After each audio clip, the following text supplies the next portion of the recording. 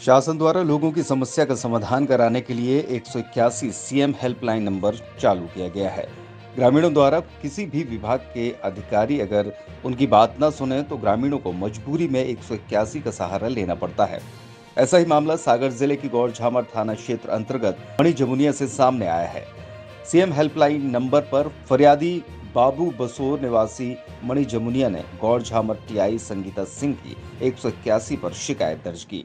इसी बात को लेकर फरियादी को थाने में बुलाकर टीआई संगीता द्वारा बेरहमी से मारपीट की गई। फरियादी का कसूर सिर्फ़ इतना था कि थाना टीआई की एक पर शिकायत दर्ज करवाई है।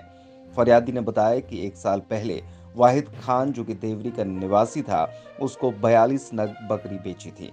बकरी के पैसे मांगे तो वाहिद खान द्वारा पैसे देने से इनकार कर दिया।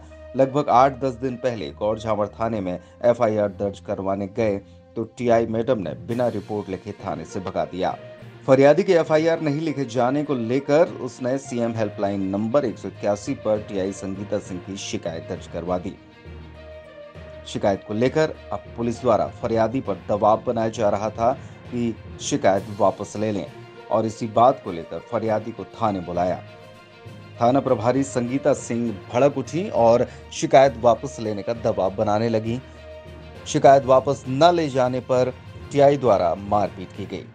इसके बाद टीआई द्वारा मेरा ही मोबाइल छीनकर डायल हंड्रेड पर कॉल किया और डायल हंड्रेड से देवरी अस्पताल में दवाई करवाने ले गए।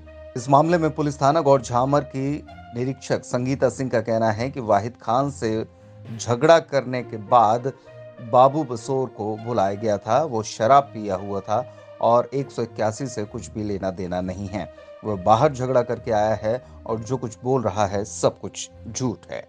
हमको पैसे चाहिए थे, देवरी जही तो भाई जान से। बकरियाँ बेची थी बयालीस नगा। तो पहले हम शिकायत करने गोर झामर थाने गए। तो हमारी गोर झामर थाने में कोई सुना ऐसी ना समझ में आई। तो हमने फिर एक सौ इक्यासी पे कंप्लेन की।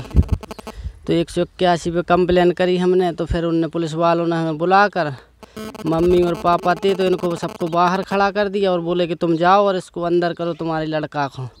तो गौर हमारे थाने में तो फिर हमें अंदर घुसा लो अंदर घुसावे के बाद में हमें बहुत उनने मारो डंडो डंडों से। और बोल रहे थे कि एक सौ इक्यासी पे तुमने शिकायत क्यों करी? कह रहे थे कि तुमने एक सौ इक्यासी पे फ़ोन क्यों लगाया था?